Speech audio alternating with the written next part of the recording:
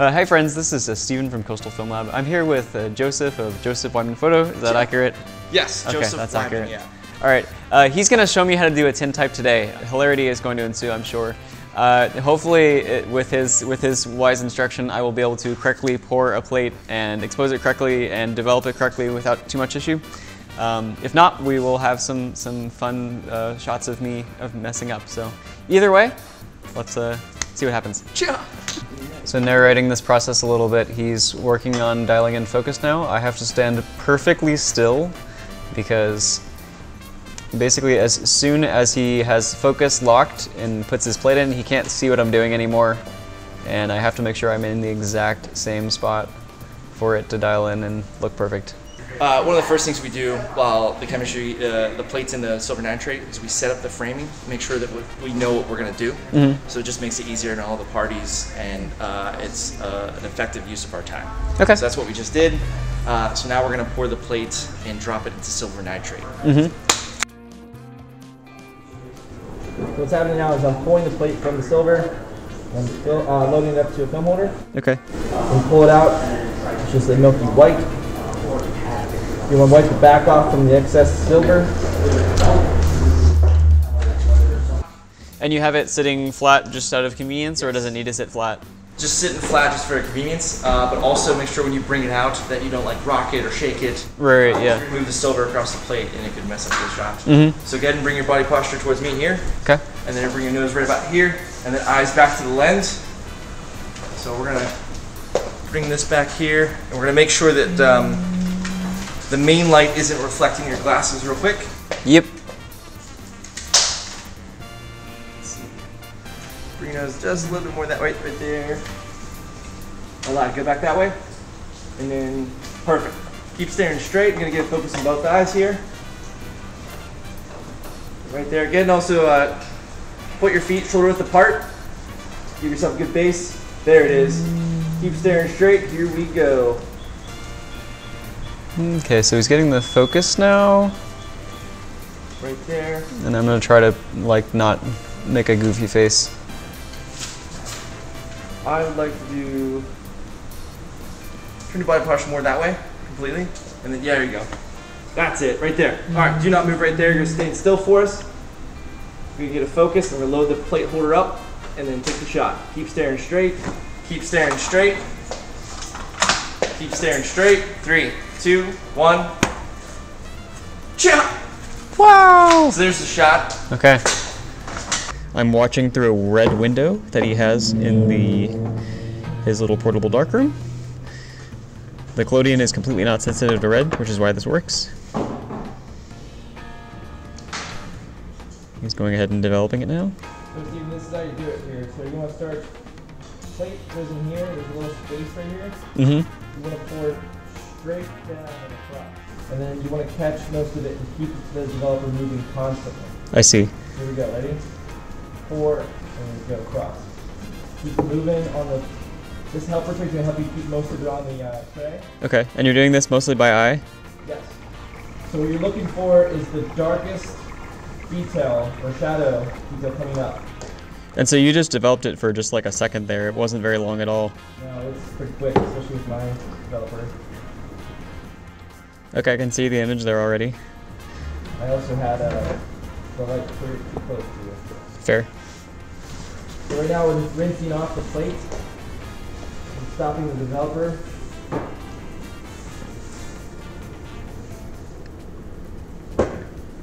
We'll put it into another stop bath.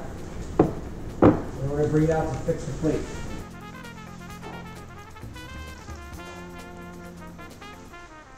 Wow. It's my face. Yeah. Good job, man.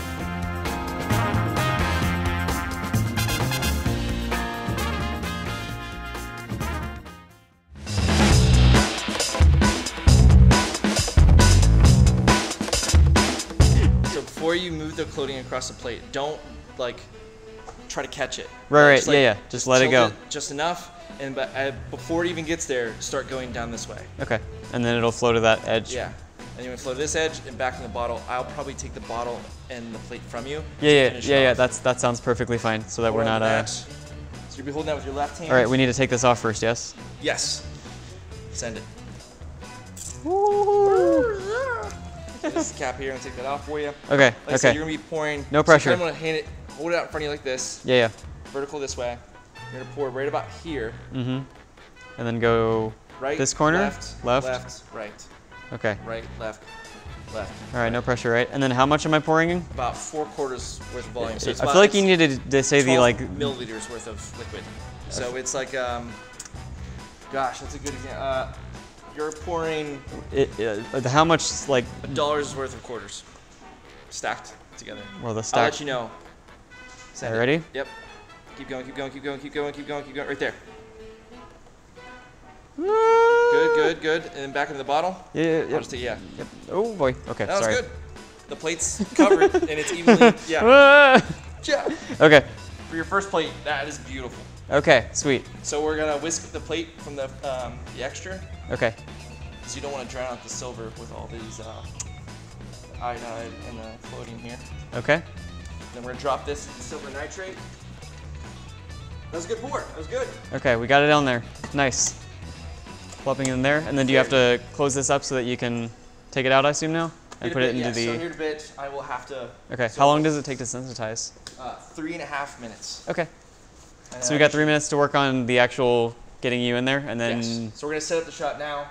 Make sure everything, however you want to photograph me, and then uh, we'll come back in here. I'll load the plate for you and Okay. bring the plate out to you. okay, sweet.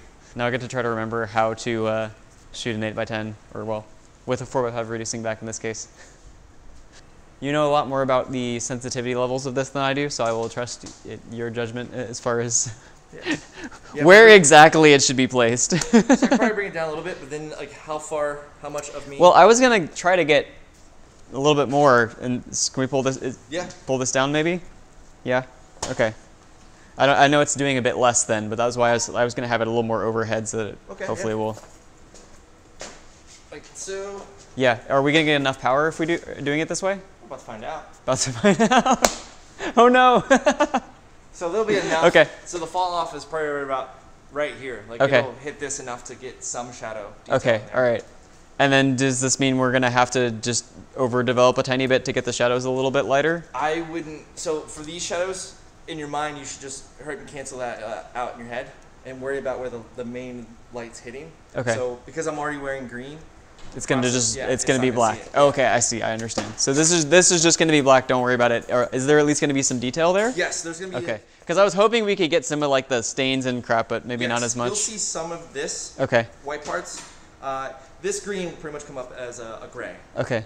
Um, so you'll see some something happening, but All right. definitely already. Yeah, because because that was what I was uh, kind of excited about was just like the whole you know all your Yeah. you got all your texture and detail and stuff of so I definitely wanted a little bit not just your face so that we could see a little bit more of hey this is what he's doing kind of thing. So I think. that's the goal. Um, I just figured out that was the goal now. So No, you're good. hi, we're professionals here. I'm gonna go under this cloth now and do this. Yeah. So that's basically the framing I'm getting. We'll, we'll see if it works out. So we're gonna go ahead and do this for real now. I'm gonna go ahead and get my focus. Hopefully focus accurately with this. I'm gonna take my glasses off because I'm blind and can't see up close. Uh, maybe I need them on. I can't tell up close. It's always a So crapshoot. The lens cap's on right now for for you. Yeah, yeah. So that would- that would need to come off before we can focus it. Hands up, or like this. Hands up on the. Uh, I I thought this was nice because you can see more of the vest. you just had an extra glove hanging out there. That's funny. Okay. All right. So now you're right. I. I'm also not used to that because I'm used to the uh, four x fives where you have a little switch for that purpose. But hey, taking the cap off works too. All right. So now we can go ahead and we will get our focus here. I would say I'm gonna cheat this a tiny bit over this way. Okay, I think we are more or less focused now. Are there any other things I need to lock down on the camera besides putting the cap back on? Very important. All right, so we'll put that cap back on like that. And let's see what else we got here. We'll get our head, our plate in, scalped part back. Okay, that's in there like that. Let's make sure our cap is on in a way that's easy to get off. I am going to get our pocket wizard here, pull that out. I'm pulling the front tab out Okay. And three, two, one. Hey, all right, sweet. okay, now we'll go ahead and put that back in. So let's not not screw up that part. All right, plates back in.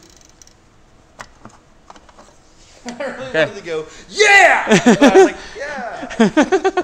Less loud, so this audio is not too much. So this is okay to open now. This is fine, right? Wow, this is really bright in here. Yes. I'm. I don't know why I didn't. I assumed it would be otherwise, but. So this is the correct. So you want to put this up here. I want to get this ready for you. Okay. And then I So. gotta pull the plates. Oh, wait, wait, no. That's on this right. side. that- No, no, no. That's this is the side we want. Yep. Pull it. Oh, Pull it. else- Yeah, right there. Yep. take Pull this that plate out. out. Yep. Oh, you have a holder And for then it. uh, go ahead and plop the plate into your hand. There you go. Okay. And then that will go. Ooh, you have an image on there. Or soon to have an Soon. image. Soon. So here's Okay. really, here's. Whew, whew, everything. whew. Make sure you do it Okay. relatively over the. Uh, All right. Tray. So again, I'm gonna I'm gonna hold it slightly like this. mhm. Okay. Bring it, bring it back towards your body a little bit, right there. Yeah. And make- sure you get it in the. Yep. There yep. you go. And remember, bring it back here. To the edge. Yeah. Okay. And then just a slow, moderately speed pour. Yes. There it is. All right, pick up the water. Pick up the water. Pick up Oh, the water. yeah, yeah. Keep the keep it right here. Keep it moving. Keep it moving. Keep moving. Keep it moving. And right about. Now. Yeah. Dump. Oh. Oh no no no! Leave No, it. no, no. Keep it in your hands. Keep Oh, dumping yeah. the water. Just dump the water. No no, dump the water on the. Oh, sorry. Ah! Ah! So you want to hold this and dump the water on it. Yeah. Okay. Okay. And then All right. Take that out. Okay. We're gonna we're gonna try to make sure we save it a bit. Okay. Okay. Save it. Save it for me. Save it for me. You can do it. So we're doing a second rinse real quick. Okay. See where the. So That was- that was- is a little, little, little too light. It's okay. It looks great though.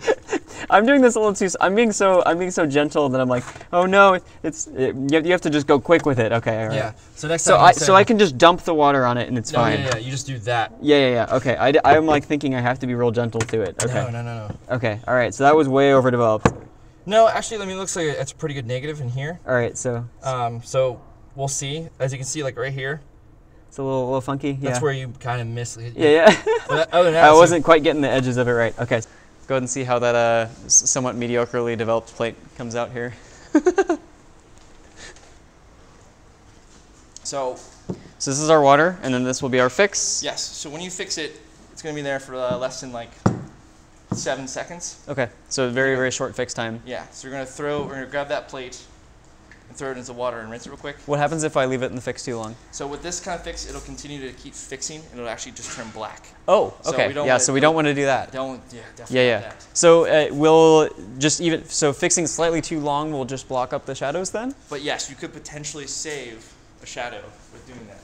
Oh, I see. By just fixing it for less time, Longer time. longer To time. fix the shadow. Like if you Oh, so if you wanted a, a darker black because I maybe overdeveloped a touch. Yeah. So so if you, can you tell from this plate if I've overdeveloped or, or let it, it No, that this is going to come out too bright or this is going to be okay, but maybe just a little uneven. This is gonna be right where you need it. Okay. So what you're gonna do is you're gonna throw your finger in there, grab the plates. Okay. Um, you're gonna place it into the white tray here.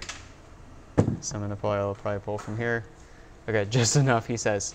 Keep Tell going, me when. Keep going, keep going, keep going, keep going, keep going. Right, that's plenty. Okay. And then agitate the tray. Okay. And then tell me when to stop because I don't know when to stop. That's pretty good. Go ahead and uh, take the plate out for the water, let it drip, and then go ahead and throw it into the wash. Okay. Woo! Good job. It's a plate. That's my Amazing. It's amazing. Clearly, there's some That's some, just fingerprints. some small. Oh, this is fingerprints. Yeah, Okay, so I was touching the corners in, in my in my nervous potentially. nervousness.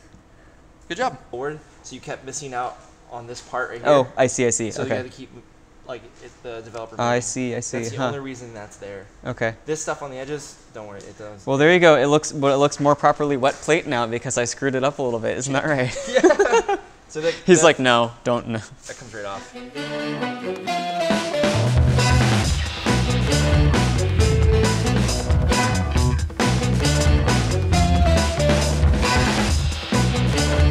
So now here I'm sitting basically almost a year after we filmed those that footage with Joseph, and I'm kind of reflecting back on that time that we had together, and my thoughts and experiences filming with you know, basically learning that whole tintype process with Joseph. And it was just a really, really amazing experience because so the difference between having somebody like Joseph teach you how to do a tintype versus just buying a kit off the internet is that I get to skip straight to the having a good one phase and, as, and get to just completely not have all the chemistry and just general technical problems that you have of just figuring something out on your own. Um, tintypes especially are just extremely, extremely difficult to kind of just get right from the get-go. Um, everything from uh, getting pouring the plate to getting the collodion seasoned correctly. You know, you usually will have to add a bunch of components to it to make it um, have the right consistency to be able to pour right and also have the right speed so that it's easy to expose. Being able to use somebody else's collodion that's just in perfect condition and is just, you know, bang on uh, was such a blessing and made it so much easier. I was just absolutely thrilled by how good my first tintype came out, um, and that was exclusively because of doing it with an absolute master. My highest recommendation for if you're gonna consider trying to take on this process is find somebody local to you that teaches workshops on how to do wet plate photography and go learn from them. That's going to be the best and easiest way to get into that. Really is just going to be much diff more difficult to, to just learn it on the internet. Um, it, it's such a hands-on physical process that just, it doesn't lend itself super well to learning it yourself, especially if you want to just get straight to the having good results and skip all the hours and hours and hours of failed plates. So that was one thing I would, I've definitely learned from this experience is that I, I would highly recommend that people go ahead and take a, take a course or take a workshop on doing this. Some other things I've learned from this were just the sheer levels of artistry that he had was just so cool to watch and just the craftsmanship of having you know equipment that you've sourced from all over the world um, from you know 100 years plus ago. Um, I, I, think personally that's the best portrait I've ever had of myself was the, the photo he took of me so that was very cool to see. And I think the photo I took of him was also something I was very excited about uh, I had also had another photo that I took of um, my lab assistant Alex that was really fun, where we uh, took his welder and um, his welding outfit and had took a photo of him holding that and then had to underlight it a lot to be able to get light to kind of shine back up in his eyes and kind of creepy and surreal looking and really came out kind of interesting. Thank you so much for watching.